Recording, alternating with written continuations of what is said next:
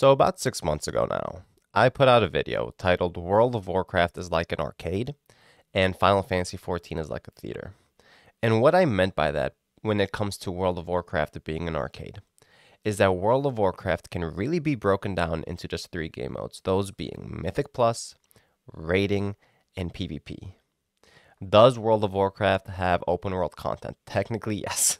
right? Does it have pet battles and transmog? Yes.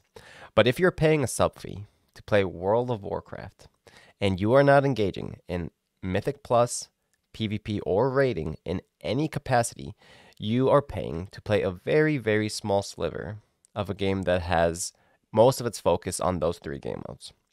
And if you investigate these three game modes, you come to really quickly find that only one of these is in any way, shape, or form designed in a way that is modern, is, you know, shows any semblance of modern game design. And the reason why I say that is if you inspect, say, raiding, raiding in World of Warcraft cannot be done unless you are in a party of 10 to 30 people. Unless you're playing Mythic raiding, then you're locked to strictly 20 people. And the problem with that is when you get that many people together to cooperate, everyone is a stranger. You're usually not on Discord if you're pugging this. And you are going ahead and engaging in this content. You run into a problem with difficulty. If 30 people, 10 to 30 people, are getting together to do group content that is heavily dependent on each other, you're going to have to tune the fights to the lowest common denominators or otherwise leave everyone frustrated, unable to clear, and then quitting the game. Now, of course, this changes if you're in a guild, right? If you find a guild to go ahead and prog normal or prog heroic, that changes things. However, the idea of guilds is in many ways outdated game design because raids in World of Warcraft are pretty freaking long. These take about three hours long, and you know, raid night is typically something that you do for three hours in one sitting, maybe even twice a week. And for many people, that is no longer something that is feasible to be put on their schedule. You know, it's something that is a lot more convenient to be able to come in, play as much as you want for as long as you have, have that flexibility, and come out, right? If you're a hardcore player, Mythic Plus is there for you. I mean, I'm sorry, Mythic Raiding is there for you. But if you're not, raiding in World of Warcraft is not a very fun experience. And that's why recently Blizzard for Dragonflight made it so Mythic Plus, which is the dungeons, is something that is a lot more viable for people to do without having to raid. Now, let me talk about PvP for a little bit in World of Warcraft. PvP, the big problem with PvP in World of Warcraft is that the gear is not ever, you know, synced when you're going ahead and doing it. So you could be stronger or weaker than your competitors solely based on the gear that you have. This is something that other MMOs such as Lost Ark and Final Fantasy don't take into account. World of Warcraft still has this going on with the game for PvP. And the problem with that, of course, is that if you are someone who is a bit more casual, you get severely punished you get severely punished for, you know, being able to play in a more modern way, in a more flexible way, in a way that makes more sense with your schedule, especially since MMOs nowadays are typically played by adults. PvP isn't very feasible. You know, in a game like Final Fantasy, you can just go in, do Crystalline Conflict as many times as you want. You don't have to worry about your gear. You go in, you are, you know, good or bad depending on how skilled you are, and then that's it. And so this is something that World of War it's it's an old vestige of MMO design that is still hanging around till this very day. Now, if you take a look at Mythic Plus, Mythic Plus is the only one that has some semblance of modernity to it because you can go in with only four other people. It's not very difficult to get four people together, you know, on a whim, and very quickly get to the entrance of a dungeon. It takes 20 to 40 minutes tops it's fast paced, it's fun, you know, it pushes you to your limits. You can play it hard, you can play it easy, you can play it medium because it has scaling difficulty. And you can get engaged for, you know, your 20 to 40 minutes. If you want to go again, you go again. If you don't, you're done. That's it. You know, it's more akin to a game like Overwatch 2, which is vastly more popular than World of Warcraft in today's day and age because of all these you know all these conveniences that we have. And in many ways they're required in today's gaming market because there are so many options and there are so many things that you can go ahead and play. And so if a game doesn't go ahead and incorporate these features with, you know, the busy lives and alternatives that people have to deal with, it's going to be hard for you to really keep up. So Mythic Plus is the only one that to some extent does keep up.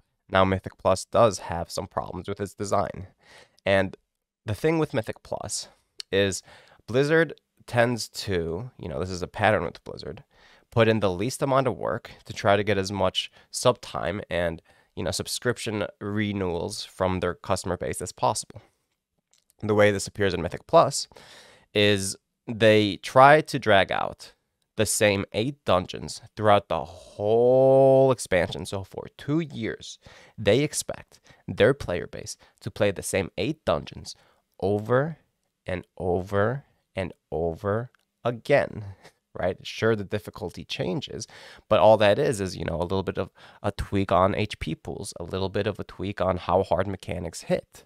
And what that will typically do is result in a situation where people are having to use these super like sweaty min max uh, strats and like these cheeses in the game to be able to clear the content at the higher difficulties. It is not new content that you have to solve. This content that you've already solved that you're now trying to exploit. And I don't think that's very good game design at all. Now in Dragonflight, they're changing it up a little bit and they're making it so they change the dungeon pool every patch. I do think that's a lot better, you know, to change it every season. And they're still trying to get away with doing less work because instead of having eight new dungeons every single season, they're putting in four old dungeons and four new dungeons. Is this the worst idea? No, I actually think it's a relatively good idea for Blizzard to do. But even still, one season in World of Warcraft is really freaking long. A season could be six months, eight months, right? And so, for me personally, when I went ahead and I played Shadowlands Season 4, doing the same dungeons over and over again was really, really fun for the first week, two weeks.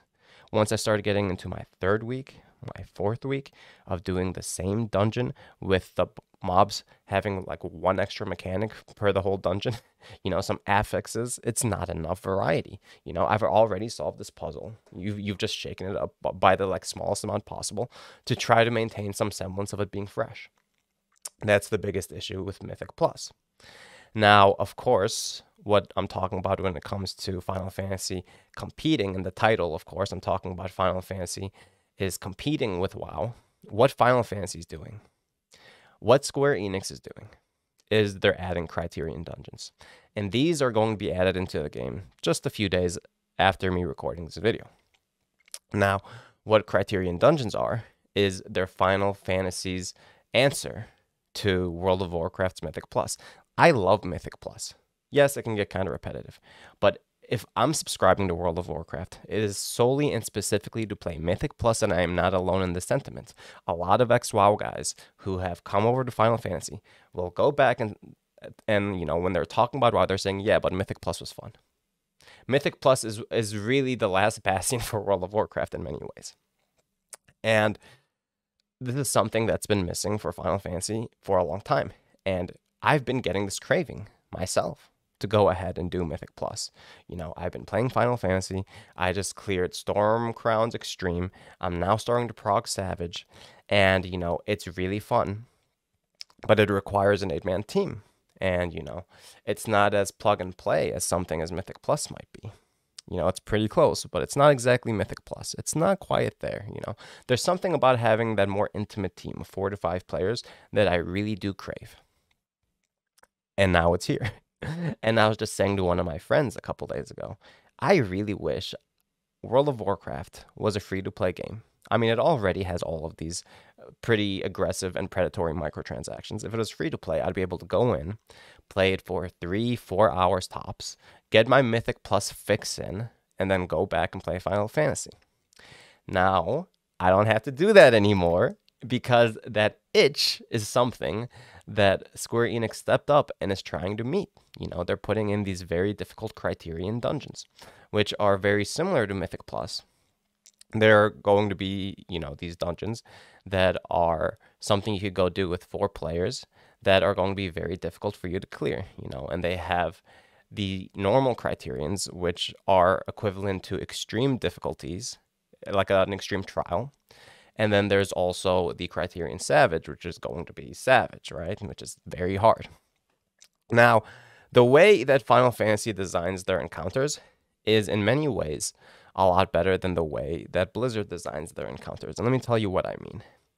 Going ahead and doing uh, an extreme trial or, you know, a savage tier in Final Fantasy XIV is to me a lot like playing Elden Ring, a lot like playing Dark Souls, and a lot of people have said it's a lot like playing fighting games. And what I mean by that is you go in and you get challenged, and it's difficult, and you bang your head against the wall.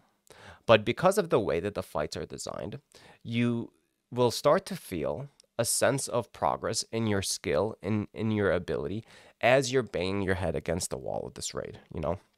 Due to the smaller raid sizes and due to the more scripted way that the encounters in Final Fantasy XIV are designed, you go in, you make a mistake, you go in the second time, the same thing happens again. Maybe you mis- make that same mistake the second time, but now you know.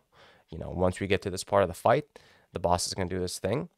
I'm going to be ready to do it. And then you do it. And then you feel that sense of progression. You know, that's a little bit less so and wow due to much larger raid sizes, one, and, you know, a lot more chaotic play style where it's a lot more about your ability to be super reactive in the moment. Um, so, so you, create a situation where like similar to dark souls you go in the boss is more or less going to do the same thing every time but it's going to be very very difficult for you to pull off right? So you go and you bang your head against the boss you bang your head against the boss you bang your head against the boss. And so they're extending the the gameplay and the game time of the people not through these scaling difficulties where you're doing the same thing over and over again. You're doing the same one thing but it's taking you much much longer to be able to actually complete that one thing. So when you do actually finish it it's that huge sense of accomplishment. And it's not making it so you're repeating the same content. You're doing the one piece of content and you're really mastering it in a way that is not, uh, you know, exploitative or that tries to cheese mechanics. It's just you having to get good enough to do the mechanics. And uh, it doesn't seem like Square Enix wants to put a whole ton of replayability into Criterion Dungeons, and that's good. Because the, anytime you do the same thing for too long, you will eventually burn out.